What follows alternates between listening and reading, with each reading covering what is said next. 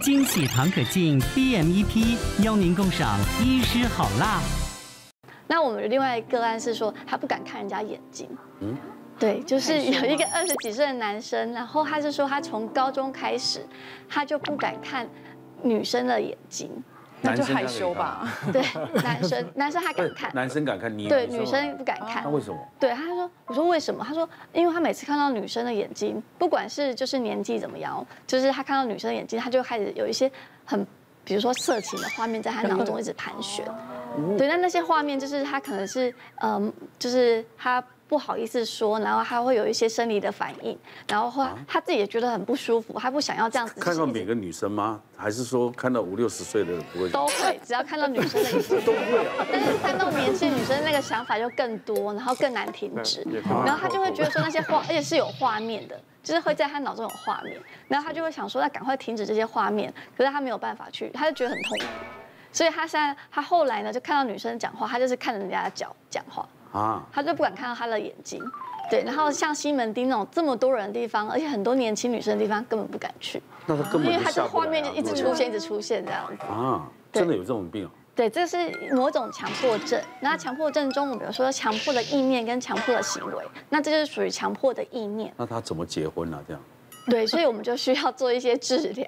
对，要不然他会一直看到女生，就会想到那些画面。那有些人是会出现一些像是呃战，就是杀人的画面。嗯，对啊，有些人是会出现一些就是宗教的画面。那有些人是会一些强迫性的，有的每个人感官不一样。对，每个人会接受到不一样。哦，对，那他跟他自己的本我是有关系的。那有些人是会强迫要清洁。就是说看到一些东西，他就觉得说他清洁过好多次，他还是不干净，还要清洁。对，那像这样的个案呢，我们就要帮他做一些，就是除了药物治疗之外，还要做一些认知行为的调整。嗯，对。然后后来他有比较好一点，但是还是不太敢去那种太多女生，尤其是年轻女生太多的地方。嗯。哦，其实真的很多病人他自己有病，可是他自己都完全不知道，而且会拖了很久很久之后才才来去就医，或者真的从别的医生转过来都有。我举个例子，在三十几岁的女生，哦，她其实呃陆陆续续五六年，她会觉得哎，突然间就会恍神。其实我觉得恍神还蛮容易的嘛，对不对？门诊看久了之后，嗯嗯，好，继续。是哦，其实每个人多少会有一些，或者他他的解释也是呃工作压力大，长时间工作，所以会偶尔会恍神这样子。啊，偶尔会他会觉得好像整个人不省人事几秒钟。如果大家知道之后，大家都会觉得哎，这个有可能是昏厥。哦，这是自律神经跟血管啊，那个收缩不好，血打不上去，脑部的昏厥。好，直到有一次他骑车摔车了。哦，啊摔车啊，他送到急诊，急诊医生说啊，你刚刚是发生什么事情？他说，呃，就看到好像是绿灯，他就吹油门，吹没多久，他就不知道发生什么事情，就倒下去。啊，醒醒过来的时候觉得好痛，哦，就是车祸了。嗯。然后送到急诊的时候啊，外科医师帮他做了检查，做了脑部扫描都没事。那伤口当然还是有了，没有撞到头。他就觉得，嗯，那你还是不要不要找神经科医师检查看看，你为什么会有这种状况？不然你常常骑车如果晃神，嗯，哦，自己撞到就算了，就撞到别人，这个有时候真的扯不清。嗯，好，他来到门诊的时候，其实我问他整个状况，他说偶尔上厕所也会，工作的时候也会，他没有特定时间，月经前后也会。我们就做这个自律神经的检查，好，自律神经检查做完之后，哎，没事，请歇床，正常。二十四小时心电图做了也没事，我们也会做一张脑波，嗯，都没事。他就跟他解释报告，突然当中他就定格了，嗯，啊定格的时候他对对，我想说，他真的没反应，然后突然深呼吸一口气，啊，我说啊你刚刚干嘛？他说没有啊，我在听你讲东西啊，可是我刚刚怎么讲你都没反应哎。他说你有嗑药吗？他说没有啊，我没有嗑药。我说我说感冒药那些啦。他说没有啊，都没感冒，没怎么样。可是他就是几秒钟定格。我想说，我第一个想到说失神性发作。嗯哦，如果你真的失神性发作，我们讲癫痫有分很多种，大家看到就是羊癫疯，就看到呃呃那种。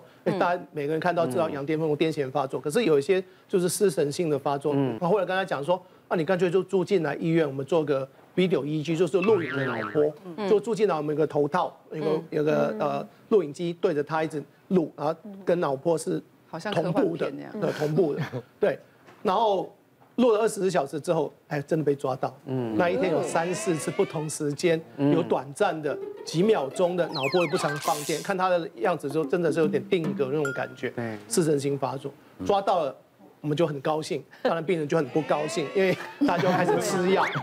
为什么这样子？因为女生三十几岁，如果她要怀孕等等那一些的话，其实我们知道很多的癫痫的药跟对怀孕啊等等那些都会是一个问题。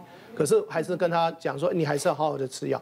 后来她还是有成功的怀孕生小孩，但中间我们还经过一些调药啊等等那一些啦。对，其实老年人，比如说呃九十几岁这样子，他常常忘东忘西，其实是正常的。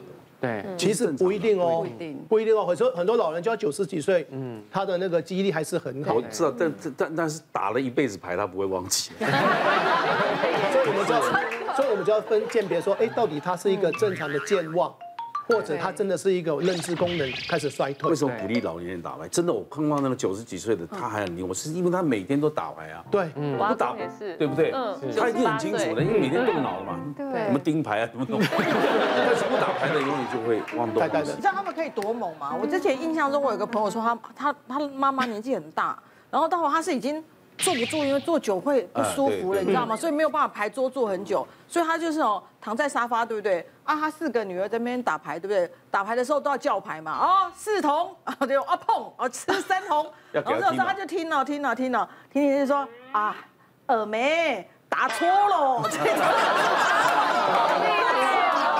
打盲牌，我跟你讲多猛，垂帘听啊，政。你这是错的，刚才就应该打起来。真的脑袋超好的，真的你看他真的骨头已经不好了，什么都好，做都做不了那么久，但头脑超好。同样是就年龄九十几岁的，一个如果不打牌，一个会打牌，完全差很多。嗯 因为我觉得失智这件事情，因为刚刚讲的其实就是认知功能，认知功能比较白话，大家会。听到的名词就是所谓的失智症哦。失智症其实呃，它在我们的名词，我们医生就是诊断为失智症或阿兹海默症。可是他真的回到这个人的生活里头，他的家人跟他本人都是非常残酷的事情。比如说我自己就有一些呃我的朋友，他们就是有一天在脸书，他就 PO 了一个真人启事。好，我们全全部的人才知道，因为他爸常年失智症。那失智症之后，有一天他出去了。就回不来了。后来过了两两周还三周的时间，才在一个河堤的旁边找到爸爸的尸体。对，所以其实呃，失智症在，尤其是有时候当你最亲的人他不认识你的时候，那是一个很蛮残忍的一件事情家人很。痛苦了。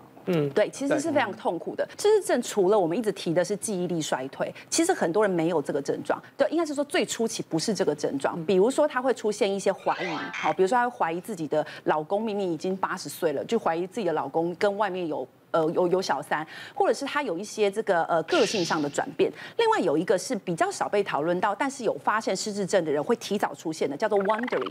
wandering 就是指他会这样子到处晃，他会到处走，到处走。那我来给大家看一个，这个是呃失智症的人他们研究的一个走路的轨迹。呃，我们正常的人，比如说假设一个阿伯哈，他可能已经八十几岁了，他今天要出门，他通常就有个目的性，比如说我要出门去呃某某便利超商买一个什么东西回来，然后我就回家。所以最正常的，我们就会是一个直线，就是从 A 点到 B 点。我们发现说，当他今天的一个走路轨迹哦，出现了一个叫做这个前后，就是这样前前后后，好像找不到路的感觉，比较像这个图。好，或者是他开始会像是绕圈圈，他会一直这样乱绕，一直乱绕，比较像是这个图。我们发现这两种图好像，或者是就是没有目的性的走，好像这个人可能他有一点忘记回家的路。但是你其实仔细想想，假设今天你有一个阿公，或者是一个你的妈妈，他现在已经八九十岁了，住在呃比如说屏东，或是住在嘉义，你不可能会知道他迷路过。所以呢，现在其实有一些政府，他们是针对比如说屏东哈，或者是一些比较呃偏远、比较多老人的地方，他就给他佩戴一个东西，这个东西会去追踪他。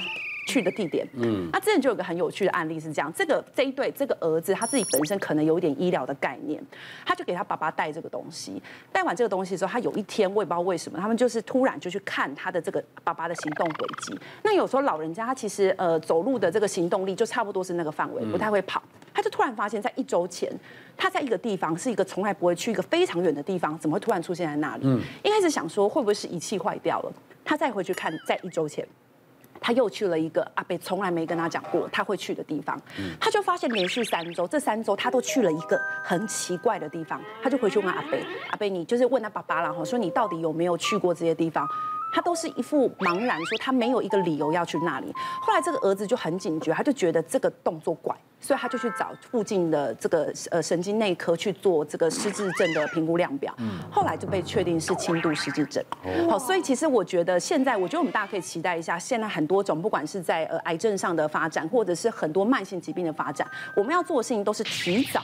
去找到原因，或者是对症下药。就是当我今天确定了这个问题是这个东西可以解的时候，它刚好对在一起，那可能这个问题就从大问题变成小问题，甚至变成没有问题。所以我觉得医疗现在目前的发达是蛮多种新的方向在出现的。嗯，那我们可能有有失智症的，每个礼拜固定路走，每个就每个礼拜固定都是这些路，对，都是这些路线，所以可能是失智症哦。没有 这样子是好事，这样是好事。如果你突然走到其他捧，然后一直在那边打转，那就 哦是哦。刚刚这个怕好像有一点点轻微。我们常常不是出去走走走走走走又走，哎，我对啊不得上，常常会这样，对不对？啊，希望至少都要三次才能顺利出门。第一次出手机钱包钥匙，手机钱包钥匙，好像本来应该要啊。我有一次。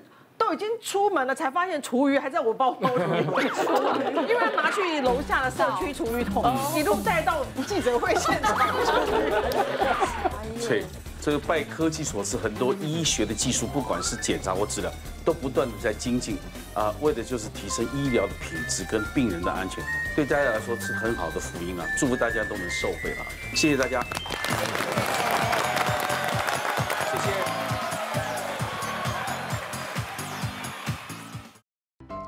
谢谢大家对好辣医师们的支持，记得订阅医师好辣 YouTube 频道，还有按下铃铛收看最优质的内容哦。